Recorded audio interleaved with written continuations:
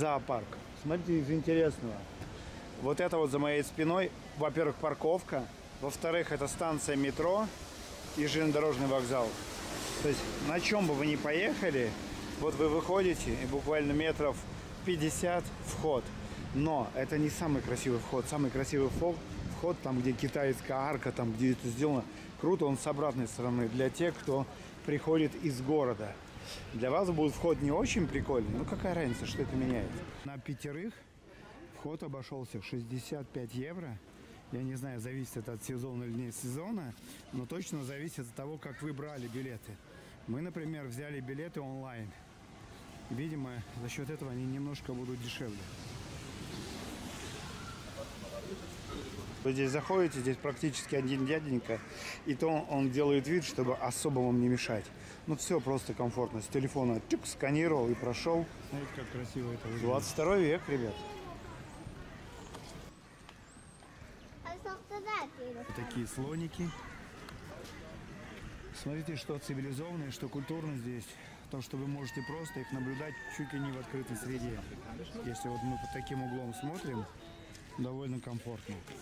Рядышком здесь стенд с горными баранами. И выглядит это ровно точно так же. Это максимально приближено к живой природе. Я не вижу здесь никаких заборов, ограждений, ничего-либо еще. Посмотрите, все это делают цивилизованные электропастухи и всевозможные системы. Никаких забора, никакого клеток, ничего. В основном во всех европейских зоопарках так оно и будет. Ты заходишь в зоопарк, как на лоны живой природы, и ты не видишь здесь, как в постсовке, этих бетонных ограждений, клеток и прочего дерьма. Смотри, вот это козлики. Если твой взгляд где-то здесь увидит что-то, что напоминает забор, нет. Тут есть всякие хитроумные системы, с которыми козлы справиться не могут, а люди наслаждаются, делают пейзажные фотографии, все что угодно. Посмотри, как слоны выглядят. Видишь, каких-то забор, ограждений, еще чего-то. Это радует. Вот я скорее поверю, что эти животные не мучаются в клетках, как нам рассказывают. Они наслаждаются природой. И наслаждаемся, во-первых, изысками, как я считаю, архитектуры. Здесь такой немецкий интересный стиль. Смотрится, то выглядит так, как будто бы животные здесь действительно просто гуляют по лесу. То есть, видите, никаких клеток нету. А вся умная система, она выглядит вот таким образом. Что вот здесь есть такой ров, через который эти животные не решаются перепрыгнуть в силу своих физиологических возможностей. И если эти животные дополнительно агрессивны, еще ставится электропоступ. Все, больше ничего нет.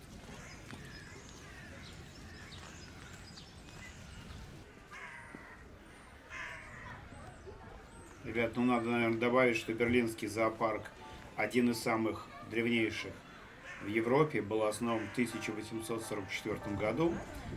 Вот. Сегодня это самый крупный зоопарк Германии, если мы берем в рамках Германии.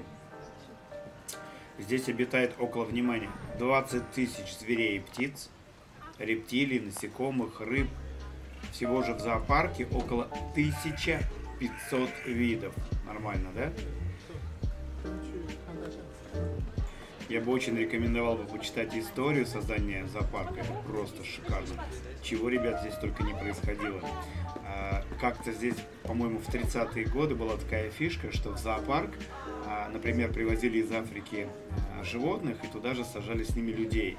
То есть, ну, например, из Кении привезли там слонов, условно говорю, и туда же затащили кенийских дикарей, и люди ходили смотреть на быт то есть было интересно понаблюдать, как вот, например, кенийцы кормят слона прям а, в живой природе. Представляете, были такие... А, про кенийцев я, разумеется, условно говорил, но такие факты они существуют. Это на самом деле было.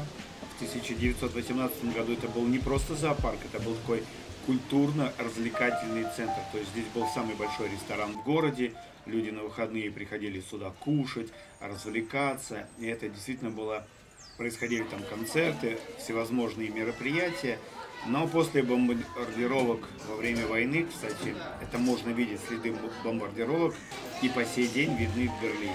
А это место не было восстановлено в таком состоянии, в каком оно было изначально запланировано. интересный факт, что раньше, когда маленькие дети терялись, а, у них же не было громкоговорителей, тогда выходил гарнист и просто играл, а, ну как на трубе, как солдат раньше на бой звали, горном играл, и все понимали, что там, где звучит горн, там стоит потерявшийся ребенок.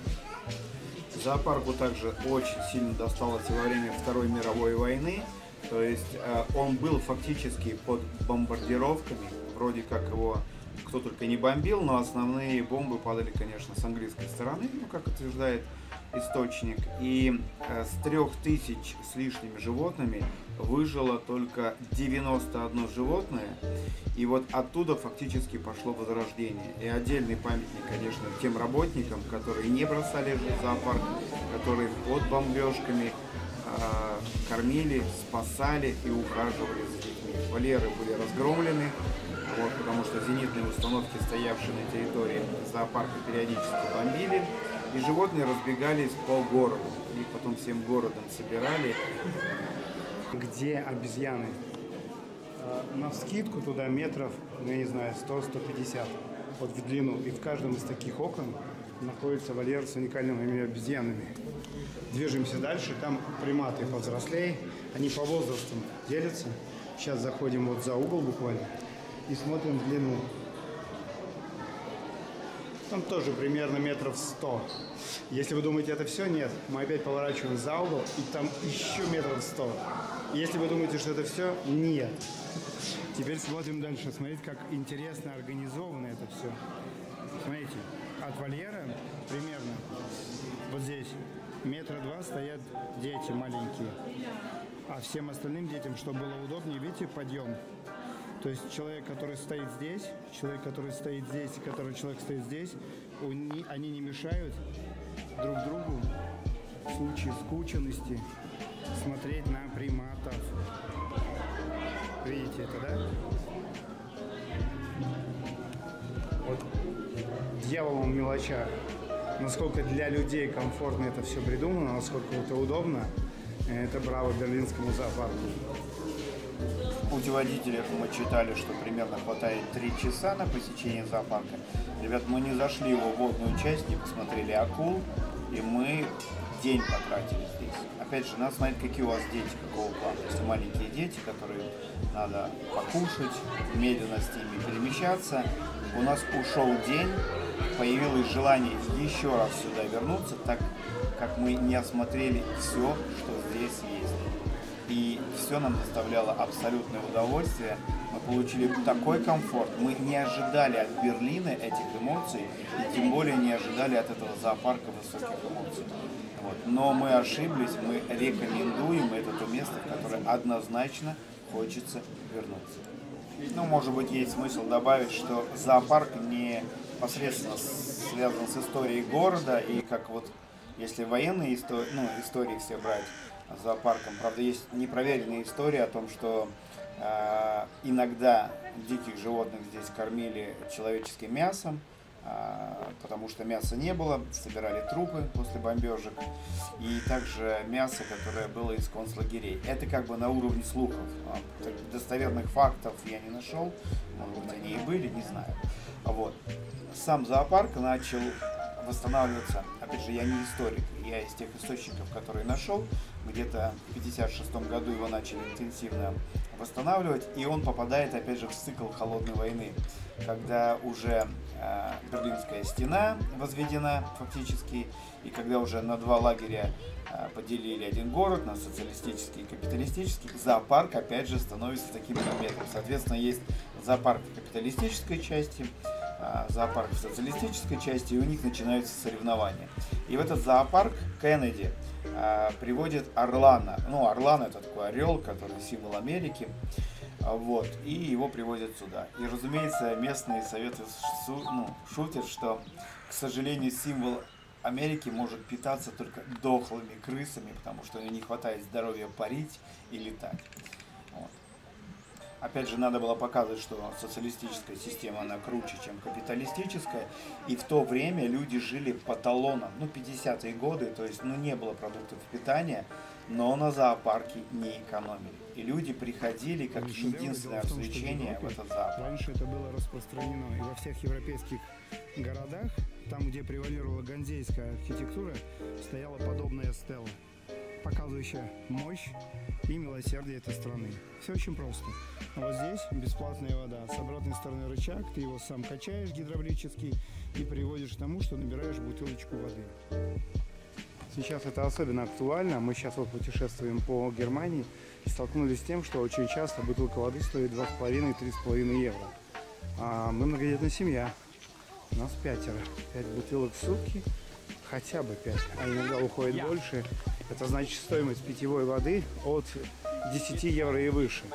Но если ты уже бывалый путешественник и многодетная семья, ты вынуждена экономишь на этом. И поэтому у нас у каждого есть питьевая бутылочка, купленная в аэропорту. И гуляя по европейским вот таким культурным столицам, мы наливаем себе водички и пьем вот эту воду. Это очень интересно. Во-первых, видите, архитектурно это увлекательно. Во-вторых, это забавляет детей. А в-третьих, а, хотелось бы вкус этого города чувствовать в этой воде. Находимся по-прежнему в Берлинском зоопарке. А, обратите внимание, отель. И одна стена отеля выходит ровно на зоопарк.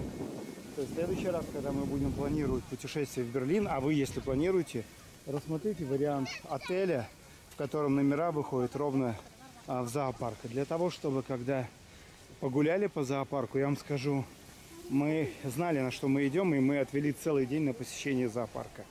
Неспешной походкой, если здесь еще немного найдем фудкор попитаться, здесь уходит ровно день. Ровно день уходит, и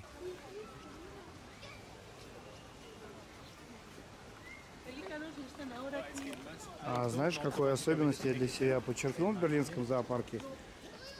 Миллион людей здесь. Никто не пытается покормить животных. Никто не пытается покормить животных. Животные, которые десятилетиями здесь уже живут, они не пытаются просить у человека пищу. И это максимально похоже на естественную комфортную среду. Обычно у меня тоже есть такая практика кинуть бы что-нибудь мартышки. Эта мартышка, скорее всего, не возьмет несмотря на то, что она мартышка.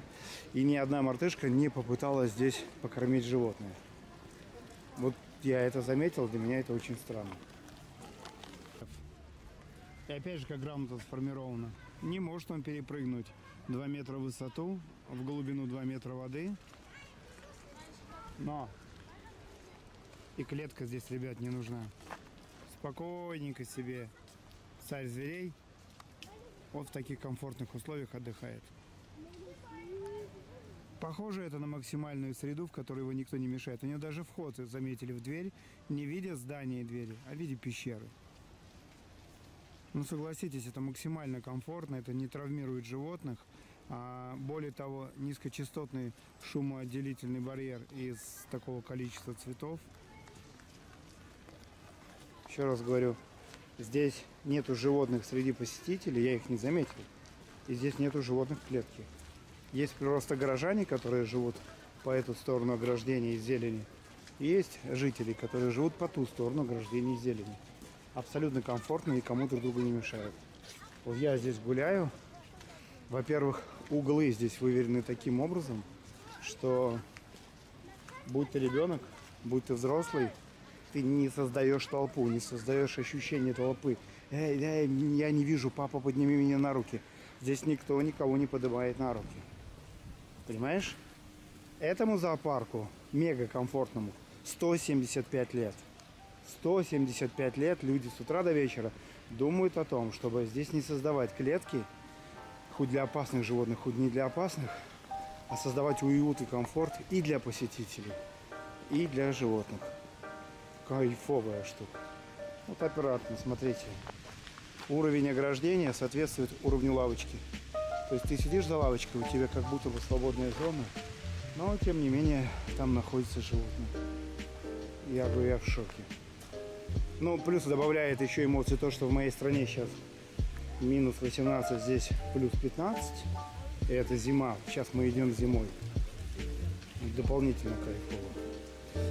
И чем интересны путешествия зимой, они дешевые. Может, пару слов о том, что зоопарк вновь засиял в 1955 году. И поскольку была холодная война, то э, на капиталистической стороне зоопарк открылся в 56-м. Вот э, союзники как бы начали мериться подробностями, чей зоопарк был круче, капиталистический или социалистический. Тщательно смотрели за всеми животными, то есть если медвежонок умирал в какой-то части, надо было это обязательно скрыть, потому что, понимаете, а в Советском, например, Союзе все животные живут счастливо, а в капиталистическом нет. Поэтому вышкаленность зоопарков, вычищенность, это была как противостояние. Фактически весь Советский Союз а, стаскивал силы на эту точку противостояния, и этот зоопарк должен был быть лучшим. между детьми и львами?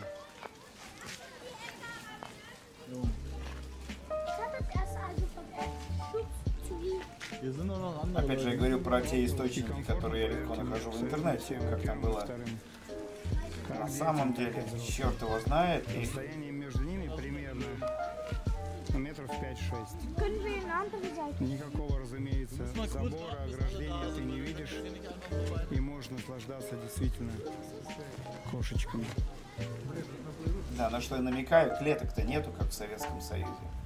Почему тогда, если во всех остальных союзных зоопарках были эти страшные клетки железные, то здесь их нету?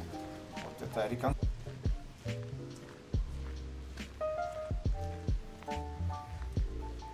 С детьми. И, разумеется, техника. Вся техника здесь – это электромобили. Электромобиль – это экологическая точка. Если вы не в курсе, что в Германии есть специальные экологические зоны. То есть вот у нас здесь не будет двигателей внутреннего сгорания. Если ты на таком двигателе к нам заезжаешь в эту зону, то будь добр, заплати. Заплати за ущерб экологии. Может быть, хоть это тебя заставит не наносить урон экологии, да, и не пересаживаться на электромобили, не слушать твои рассказы о том, что это невыгодно и так далее. Поэтому вот здесь воздух настолько чистый, а это центр города, что его можно есть хоть чайной ложкой в разумных пределах. И, соответственно, техника и сам, сам персонал обслуживающий соответствует духу.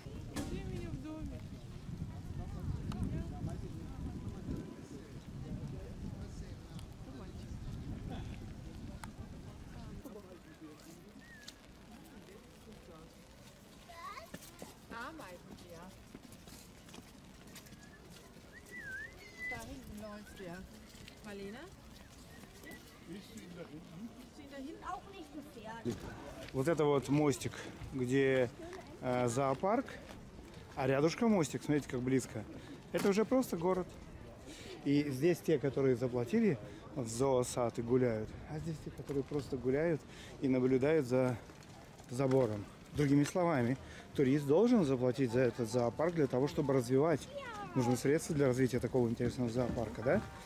А горожане, которые живут здесь, какой смысл им платить? Они могут просто прогуливаться и смотреть на большую часть этих животных а, со стороны города. Всем комфортно.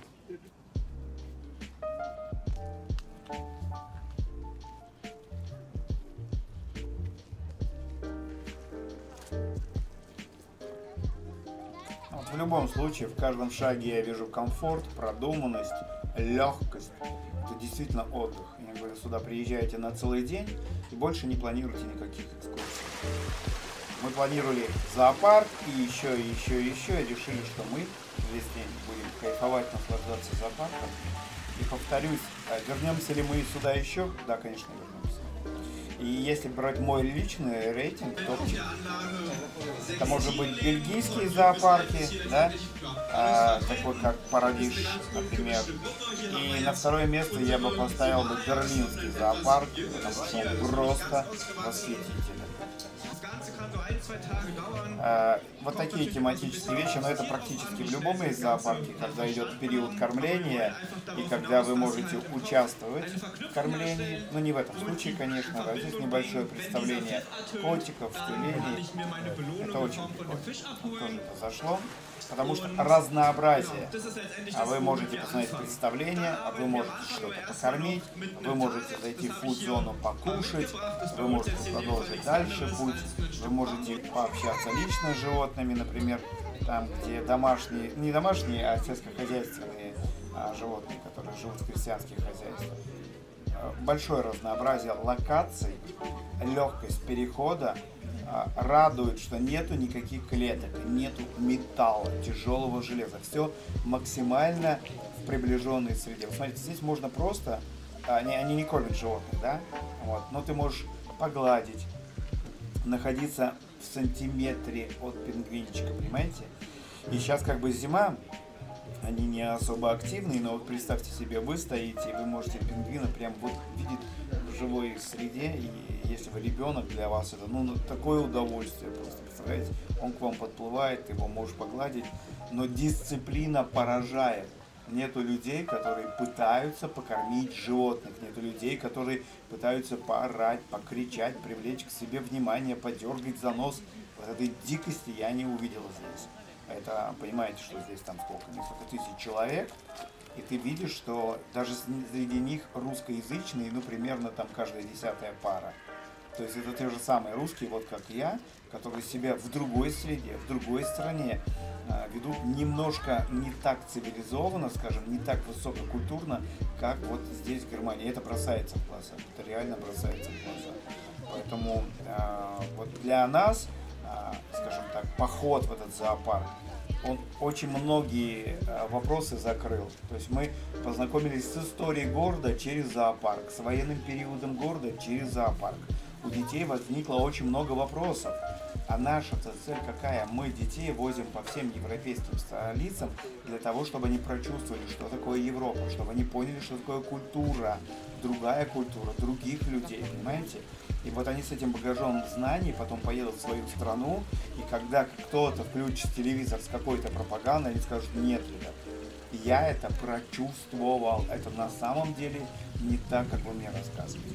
Поэтому главная цель вот этих наших экстремальных а, путешествий, когда мы меняем столицы как перчатки, а мы многодетная семья, и у нас только низкобюджетные путешествия. Но мы были в Париже, мы были в Брюсселе, мы были в Брюге, мы были в Амстердаме, мы сейчас в Берлине, потом поедем в Барселону. Задача, чтобы дети поняли разность Европы, чтобы они поняли качество Европы, чтобы они поняли разные подходы. И она в мелочах ребят, она в мелочах.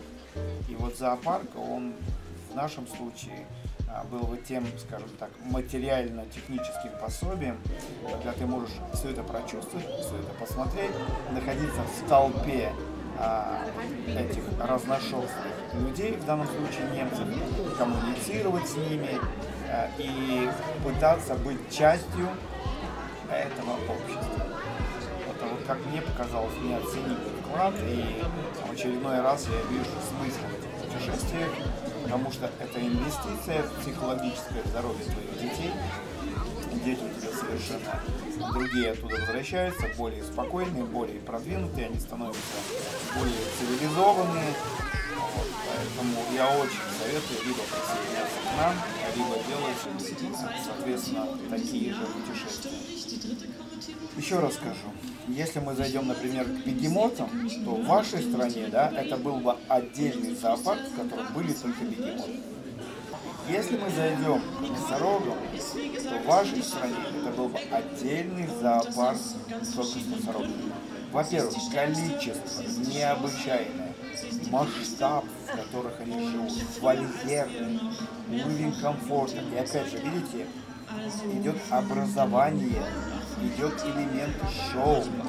И ты можешь сначала посмотреть на бегемотика в комфорте, потом услышать информацию, ну, конечно, на немецком языке, потом посмотреть по взаимодействию, пофотографироваться. То у тебя есть полный объем, который фактически закрывает все твои не только базовые а, потребности, но и то, даже о чем ты не мог мечтать.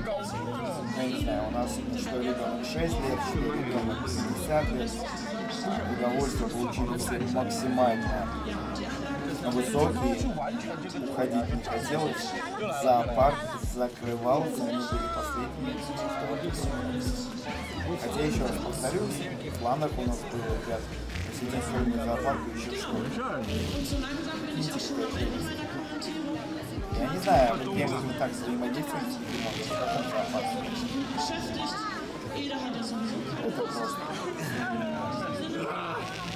Единственное, еще если ребенок маленький, он будет перегружен эмоциями, тоже должны понимать. И у него вот это посещение полностью зоопарка, это будет много. Если ребенок до 7 лет, он устанет от эмоций. Потому что его мозг привык увидеть слона и восторгаться. А тут он увидит слонов, бегемот, носорогов в таком количестве, что просто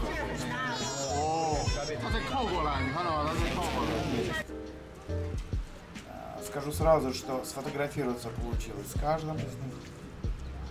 Насладиться вот так близко, чуть ли не в сантиметре от животного, не в клетке. Ну, это другое удовольствие. Посмотрите, какая прелесть. Но он максимально живет в комфортных условиях, ну, насколько возможно. Конечно, он Потому ограничен. что снимать через эту мелкую сетку очень неудобно.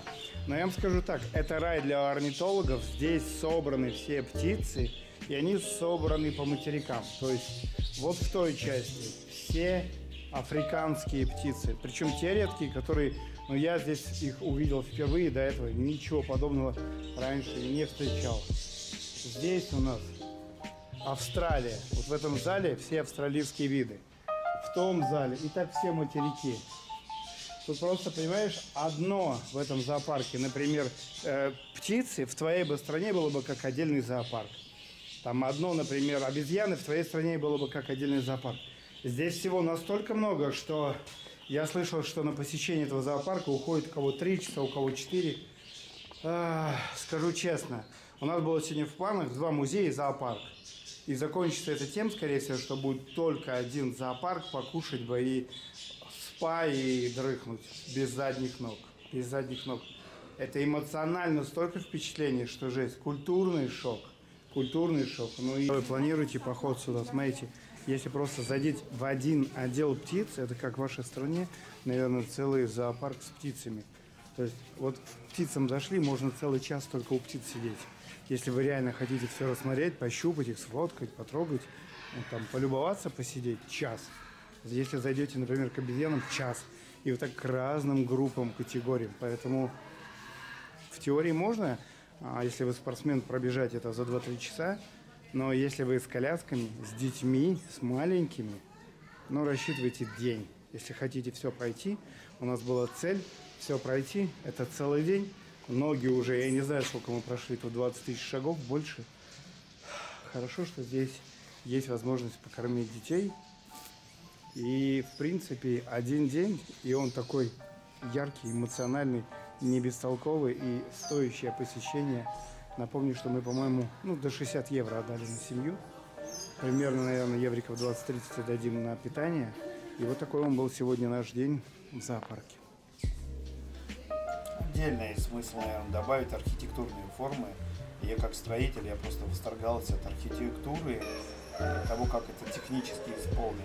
Вот мне как э, технарю, как строителю, это было прям, прям фетиш. Ну, я говорю, каждый для себя здесь что-то нашел. Восторг, восторг, восторг, эмоции. Я прям готов нахваливать этот э, зоопарк. Напомню, что бельгийский номер один парадиш в моем топе, этот второй.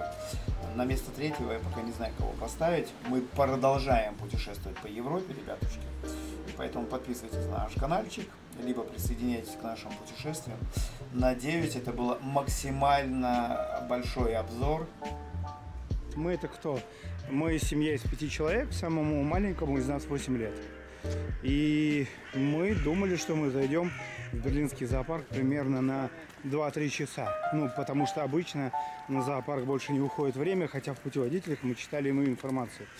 Так вот, в реале у нас ушло 6 часов.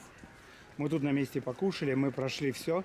Ноги просто, я не знаю, сколько тысяч шагов мы прошли. Мы просто офигевали от всего, что здесь есть. И продолжаем это делать. И вот мы а, одни из последних посетителей уходим. Если мы планировали еще в это место сегодня заскочить, то это нереально. Если у вас маленькие дети, это не ваша, ребят, история. Поэтому Берлинский зоопарк нужно как отдельное путешествие на целый день. И поверьте мне, вы не пожалеете. А, тут я включил фишку «Лучший папа», и я могу похвастаться, что я был практически во всех развлекательных учреждениях для детей в Европе. Если мы возьмем зоопарки, то повторюсь еще раз. Первое это, наверное, Парадайш в Брюсселе. Второе это Берлинский. Это действительно очень шикарное место. Мною, моей семьей рекомендованное. Порядка 5-6 часов закладывайте, если вы с маленькими детьми и реально хотите пройти все. И в районе 60 евро у нас обошлось вне сезона. На сегодня это все. Мы продолжаем свои путешествия по Берлину. Пока.